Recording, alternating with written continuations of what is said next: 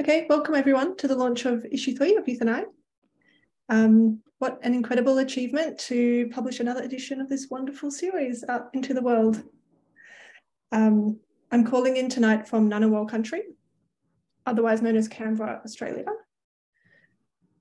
Um, Nuna, Darawar Ngunnawal, Ningada Dindi, Dararu Ngunnawulgun, Yinjamara Lejingin. This is Ngunnawal country, we always pay respect to elders, female and male, and Ngunnawal country. In addition, I'd like to acknowledge the numerous intersex First Nations people that live and have always lived on this land, um, and also acknowledge that land in Australia has never been ceded. Here we live on stolen land um, and are yet to have a treaty with our First Nations people here. My name is Steph Lum. I'm an intersex advocate poet, and legal researcher. I'm the founder and editor of editor-in-chief of Youth and I, which began with its first issue in 2019. Gabriel Philpy, our front cover designer for this issue, is also joining us tonight from Ngunnawal land. And Youth and I's incredible graphic designer, Gaby Niemeyer, is joining us from Naarm, Wurundjeri country, otherwise known as Melbourne. And as our stakeholder manager, Georgia Andrews, is joining us from Wellington, Aotearoa, New Zealand. And we also have here a number of contributors and supporters to issue three. So for our launch event today, I'm going to talk a little bit about uh, this issue and Youth and I more broadly. And then I'll introduce some of our fantastic contributors to read their pieces. And then we'll close with a few words from some of the Youth and I team. So for this issue, we are pre-recording and sharing it later um, when the book itself will be available. So when you're tuning into this, you'll be able to access issue three at youthandi.org forward slash shop, and you'll be able to download a PDF copy there um, and order an imprint book. Or alternatively, you can access individual entries um, at youthandi.org forward slash current dash issue. Uh, these links will be shared along with the recording as well. So Youth and I is a publication which shares the works of young intersex people. Broadly, this is aged 30 years and younger, though we are a bit flexible. Um, and it shares young intersex people's writings, poetry, drawings, and other artwork. Um, so this publication is really a first of its kind, and it's so valuable uh, in helping to share the stories of intersex people around the world, but importantly in ways that they want to share them. So we work closely with the contributors to make sure that what is published is what they want. The philosophy behind Youth and I is really about working with intersex people to uplift and provide platforms for intersex people. And we do this in multiple ways. Firstly, by accepting submissions from around the world and translating pieces in languages other than English, so that we can try and find as many people as possible including intersex individuals who may be more marginalised from a broader intersex movement, which is mostly conducted in English. We also work as a team of intersex people at Youth and I, and I hope over time we can continue to work with intersex editors, graphic designers, and translators to continue to build connections within the community um, and also upskill intersex people while also producing positive and worthwhile projects like this one. So the theme for this issue is connection. Um, thank you, Jordan. Ah, read my mind. Um, I'm just going to quickly uh, share a quote from the foreword, a bit about what this theme uh, means. We live in societies that are still so far from understanding what it means to have a variation in sex characteristics, let alone accept and celebrate our variations. In this isolation and uncertainty, what does it mean for us to live with and love our bodies and ourselves? How do we even begin to find and connect with other people when we are often disconnected from the language to even know other people like us exist? And when we are often told, explicitly or implicitly, never to talk about our own experiences. In issue three, we explore what finding and making connection means for us, both disconnection with ourselves and finding connection with families, friends, and an intersex community.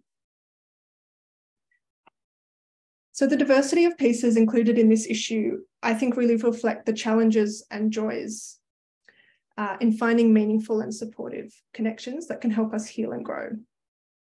And we'll hear some of these shortly. Um, but before I pass on to our contributors, I'd like to quickly thank our translators who've helped us include more pieces from more intersex people. For this issue, um, they included Laura Inter, Free, Ronnie Zuze, Amy Vieira, and Ord Nasser. And we're also incredibly thankful for Intersex Human Rights Australia for funding this project, which makes it possible for us to pay our contributors, um, our translators, and also our graphic designer. So now we're going to hear from some of the intersex contributors themselves. Um, and firstly, we have Irene. Irene is a 29 year old from Ukraine and Russia who is currently living in Berlin, Germany. Irene is a proud intersex person and activist and has been active in the movement since 2015.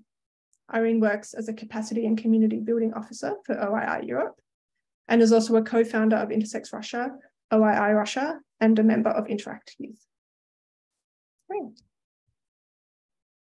Thank you so much, Steph. Thank you so much, everyone, for having me. It's Mm. a big honor and also an amazing pleasure. And yeah, so happy to be here with all of you today. I am going to read my submission, which is called Riding the Wave. All my life, I felt disconnected from my intersex body. I could never wear my dream clothes because I didn't have the body for those clothes. And all my dream dresses had too much space for breasts for me to even think about trying them on. Regarding any physical activity, my attitude was always there is no point in even trying. I knew I was and would be bad at all of it riding a bike, riding a scooter, roller skating, ice skating, taking PE classes, trying any kind of sports or dance class. I was always weak and clumsy and worse than everybody else. So I just avoided those things as much as I could. I had some health problems with my spine. No idea if they were or are related to my lower bone density at the time, which made me quit uh, ballet classes, at which I wasn't that good anyway and allowed me to skip PE classes in high school. I hated my body so much and never wanted to be seen by anyone changing in a changing room or attempting any kind of physical activity. As a teenager, I filled the pages of my diary with words of pain, self hatred, suicide, and self harm. I still have the diary and I feel sad reading it now. The only thing that I was always comfortable and confident doing was swimming. Sea, ocean, pool, lake. I love water and I love swimming. I never even cared about how good my technique was. I just enjoyed the process. Even after discovering that I'm intersex, it took me a long time to feel better about my body. Weirdly, what kickstarted my self acceptance was COVID while self isolating for two years, I really indulged myself in ordering food, enjoying my Big Macs, sushi, and pizzas. All my life, I've been underweight, but during the pandemic, I gained over 10 kilos. Honestly, it felt really good, and I started feeling great about my hips and my new hourglass figure. At the same time, I discovered several amazing YouTubers and bloggers speaking out about their small boobs and accepting their bodies. This was life changing. For the first time in my life, I could think of my body type as being represented, existing out there, being normal, being beautiful, and importantly, being sexy.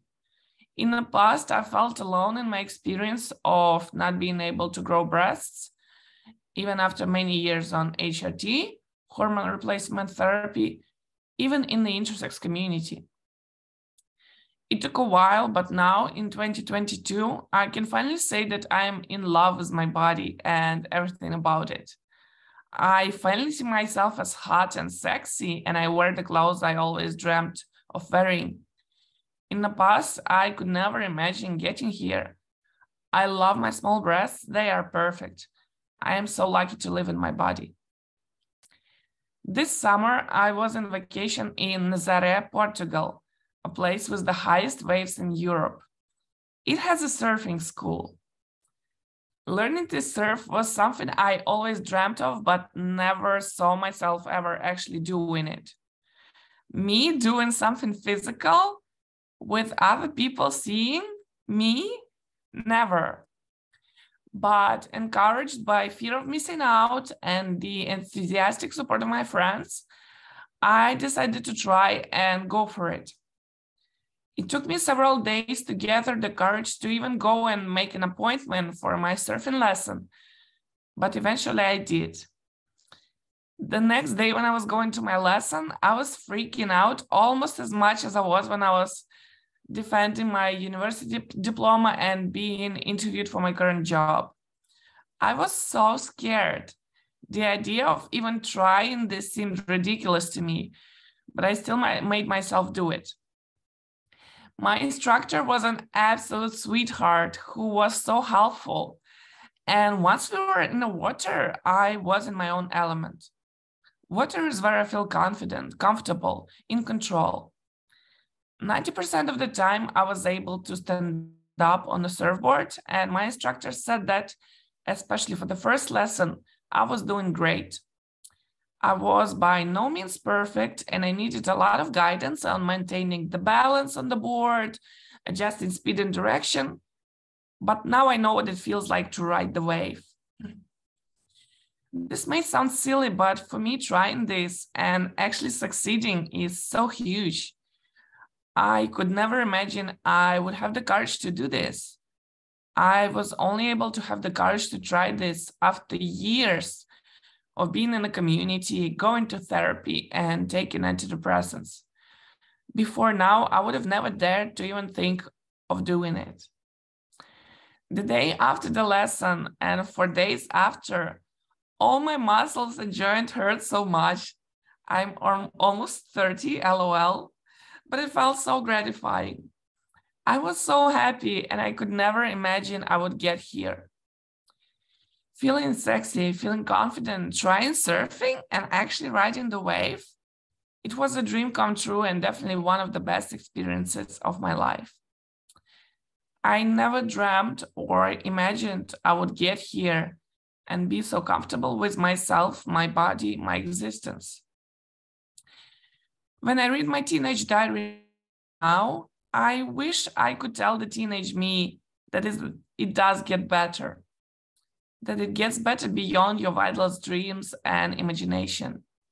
You will love your body and you will serve the wage, wave, teenage Irene. I know. I've done it. You've done it. We did it together. Thank you so much.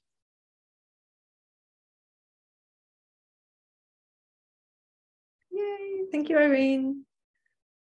I really love what a positive story you've shared with us. It's just so nice to see your growth, um, you know, within yourself and how you experience different kinds of joy with your body and yourself. So thank you for sharing this with us. Uh, next up, we have Free. Um, thank you for joining us, Free. Free is from Mexico um, and has a degree in language teaching, Spanish, English, French, and Zapotec. She met Brujula Intersexual in 2014, and one year later, she became a collaborator of the same organization. She has participated in various talks and events about intersex in Mexico, and her testimony entitled An Orchid in a Rose Garden was published on the website of Brujula Intersexual. Thanks, Rick. Thank you so much, Steph. Okay, I will read my piece connection, letter to free. The connection is a very essential element in human life. We all have the need to establish social connection with people. We have the need to be connected with friends, with family, with a partner, and most importantly, to be connected with ourselves. Sometimes it isn't easy at all to find the right way to connect our bodies with our hearts sometimes that connection can be hard to set, but easy to lose.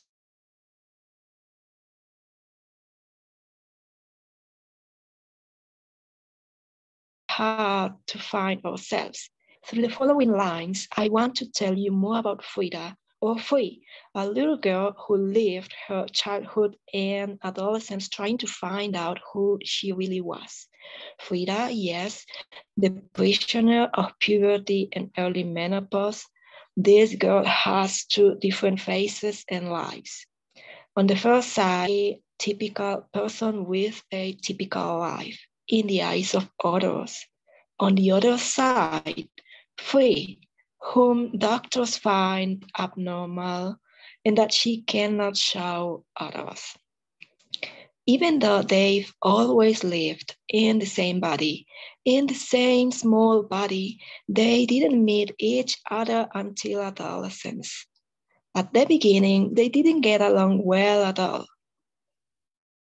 Each other and built a bridge that let them get connected setting an unbreakable relationship. Through the following letter that Frida wrote to Free, I'll tell you more about them and the silence they had to keep. Hi, Free. It's Frida, yes. You know, we are the same person with the same body and the same heart, but different personalities, different strengths, different just remembered all this gone through to become who we are. We've never talked about it before, and I've never told you my feelings about it. So please sit down because this may last longer than you think. I hope you enjoy reading these words I'm writing to you. When I was a little girl, I always wondered about who and what I really was. I knew I children, I knew I looked different, and I was frequently told not to tell anyone about my genitals, my different genitals. All those things made me confused about me. The usual questions I used to ask myself were Am I a boy or a girl? Why do my genitals look different from the other girls? Why and treated as a girl. If I look so different, if I look more like a boy, why do my parents not want anyone to know about my body? I didn't understand anything. I was confused and I got more and more confused as time passed. I wasn't connected with my body. I wasn't connected with you. I didn't know about your existence, hiding in the shadows, in the deepest part of myself. While I was thinking that I was a peculiarity, that I was ugly, and that maybe I was a mistake of nature, you were trying to get my attention and tell me that you were part of those things I considered ugly. You were trying to tell me that you were there for me, that you are not a mistake, and would make a great team together. I met you at the hospital when three doctors told me I was abnormal, when those doctors told me I was a hermaphrodite. They said I wasn't either a boy or a girl, but a freak of nature. They made me hate my body. They made me hate you. They made me hate myself. Myself. I didn't understand anything, and then I tried to remove you. I wanted to be normal. I wanted to be like the other girls, but you never gave up. You refused to disappear. You were willing to be hurt you were determined to survive. So, little by little, I started to hear your voice. I started to get to know you, and I realized that aspect of me. You had suffered so much living in the shadows, keeping your feelings quiet and repressing your voice. After some months getting to know each other, I realized I didn't hate you anymore. I realized I like you. I realized I actually loved you.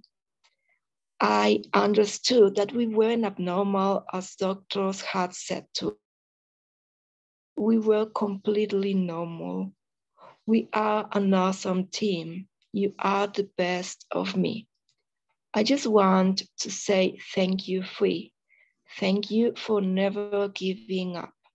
Thank you for all the struggle you've undergone, for being there for me when I needed, it for your support, for being an important part of me. Thank you for everything. I'm best, Frida. Thank you so much.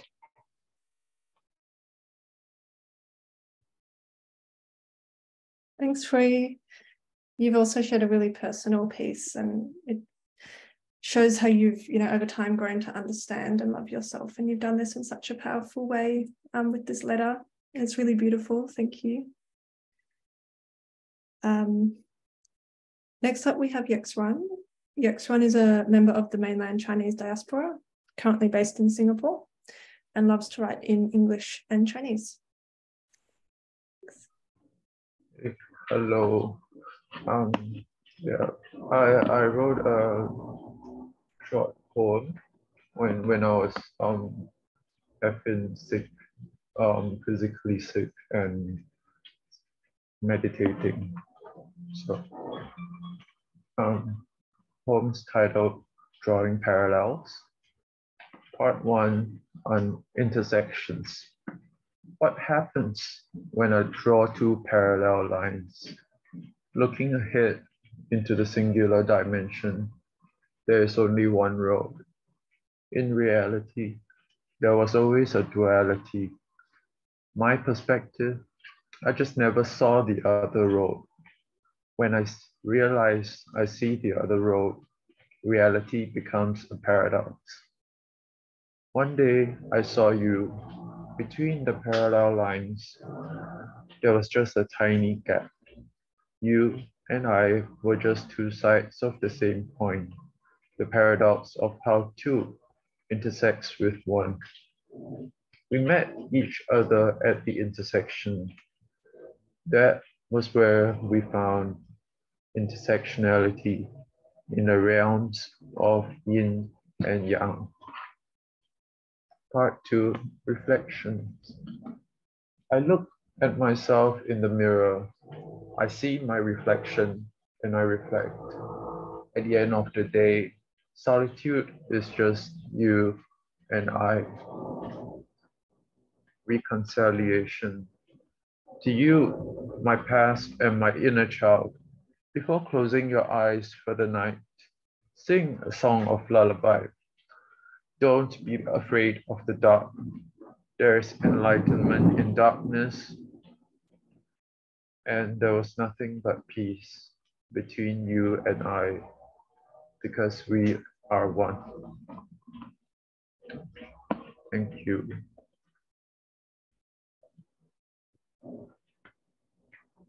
Thank you, Yexuan. You shared with us such a reflective poem in three parts and you know, one that really connects with your reflections on Chinese philosophies and intersects understandings in the Chinese language. So thank you. And it, has been really lovely, you know, for me as well to meet you through this process and follow your um, engagement with um, poetry communities in Singapore and online. So thank you for that. Um, finally, we have a video recording um, which I'll get Georgia to share. And if this doesn't come out well on the recording, I'll, I'll try and edit it in or share it alongside the launch video, but we'll see how it goes. Um, Lee, let me pull up. Um, Lee is an intersex person born in 1996. Lee is Zimbabwean and lives in the remote areas of Zimbabwe. His greatest passion is to write articles as well as poems, and he wishes to continue his education. Um, and I'd also like to acknowledge the challenges for some of our contributors in, in joining us for this launch, given the difficulties, um, both in terms of time zones and also in accessing stable internet connections. So um, I'm really grateful Lee was still able to share um, and send through a recording for us. Thanks, Georgia.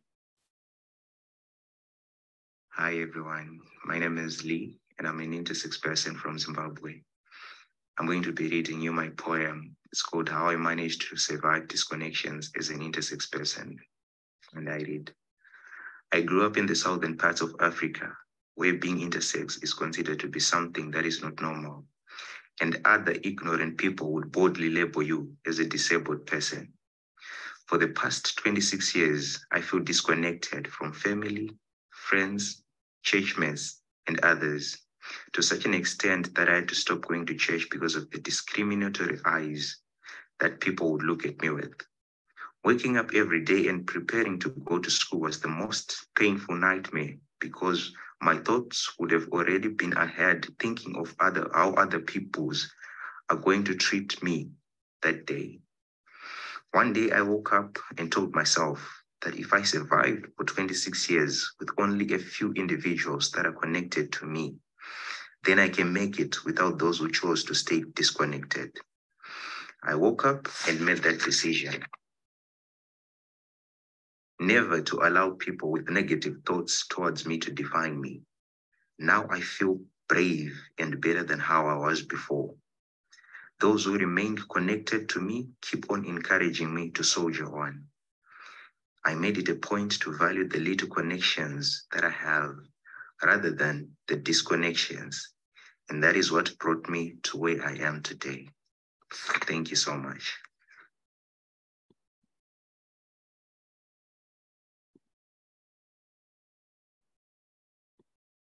Thank you, Lee. Thanks for sending through the recording. Um, and yeah, Lee, Lee also has a second piece in issue three, a poem, which is well worth seeing as well. Um, okay, so now we've heard some of the pieces in issue three, and I'm going to pass over to Georgia Andrews, our stakeholder manager. He's been invaluable in helping bring this project together, um, and it really has been just so, so helpful to help um, have you bounce ideas off and support the project the whole way along. Thanks, Georgia. Over to you. Thanks, Steph. Uh, kia ora koutou katoa. Uh, hello, everybody from Aotearoa, New Zealand.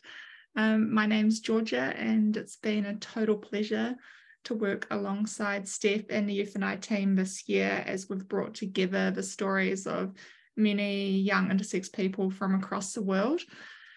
I've been thinking this week about the impacts for me on a very personal level and engaging in this work. And I remember when I first came out as intersex and knew very few intersex young people and I have seen that Youth and I, both my engagement in Youth and I issue two, as well as this issue, has allowed other young intersex people from across the planet to share their stories for the first time, to connect with other intersex people, and to hear stories like theirs. So I just want to commend all of the contributors this year. It's been lovely to hear your stories from Africa to Australia to the Canary Islands. This publication is so unique in the sense that we have people from all across the globe contributing in their own language and sharing their beautiful stories.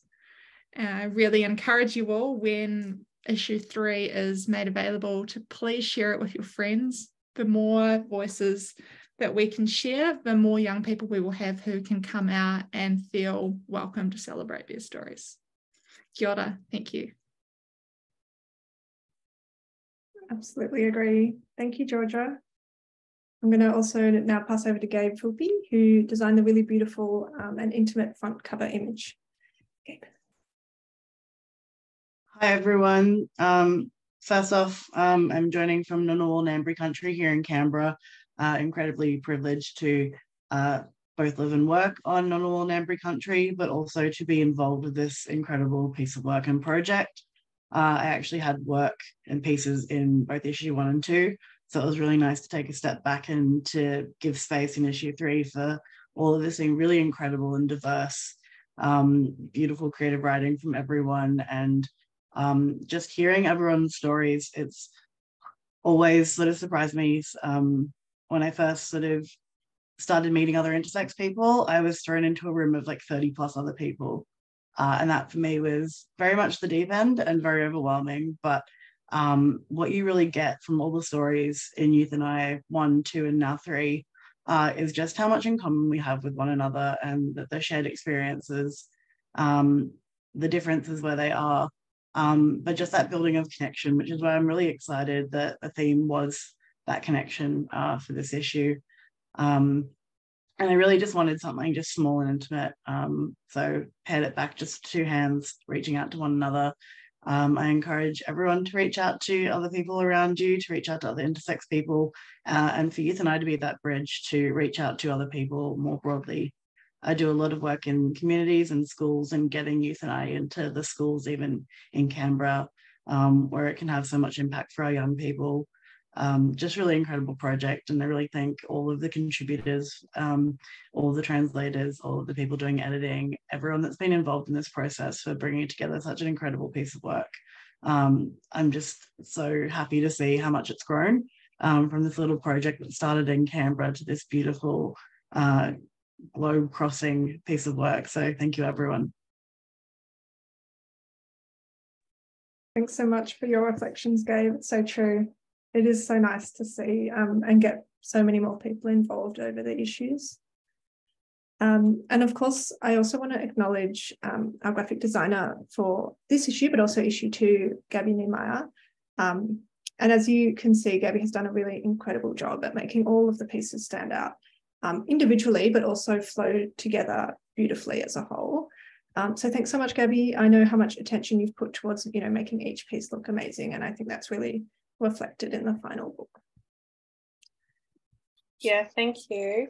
Actually, it's funny, you work so much on it and you don't really have so much time to read every, all the entries. And, you know, just having this set up and the, the authors reading just, oh my God, the story is just really moving me. so it's, um, yeah, it's definitely a different experience than reading it very quickly and making sure everything's right to actually hearing it from um, the authors. So, um, yeah, it's just wonderful. So, thanks for letting me do it.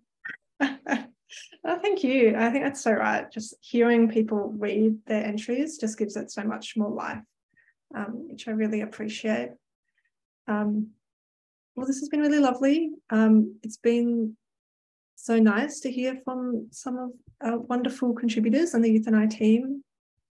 Um, so once this video is live, issue three will be available um, online for free and in print for roughly 20 Australian dollars. Um, and if you go to our website, youthandi.org, you can find out then where you can purchase a copy. Um, and if you sign up to our mailing list, um, it will also let you know about further updates.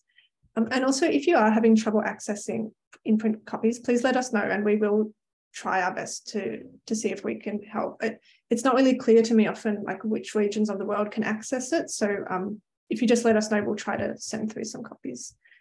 Um, okay, well, thank you everyone for attending and congratulations on a really successful issue three. Thanks.